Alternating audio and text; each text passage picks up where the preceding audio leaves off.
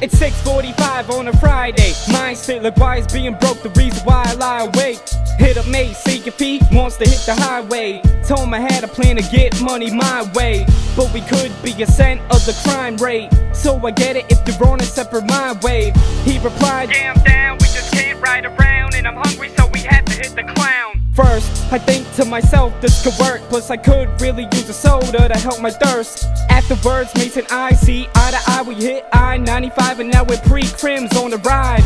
We saw police pass on the side But both said we saw nothing, acted blind To calm us down, Mace said to rap a rhyme I think I rhymed crap at time with Caroline Then had a laughing line But back to the act of crime Before I lose track of time I think we should find a place to tack my nine Both agreed, I got and said approach the street I told Mace once we leave, stay close to me.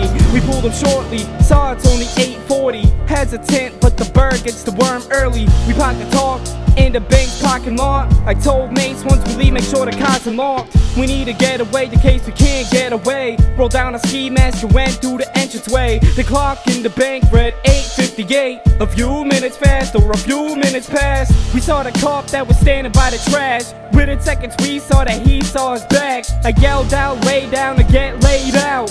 Any sudden moves, I blow all your brains out. Back up, backed up, our escape route. We couldn't make out an exit, we could break out. Our only options were to take out anything in a way out. Got to the exit mat and we blazed out.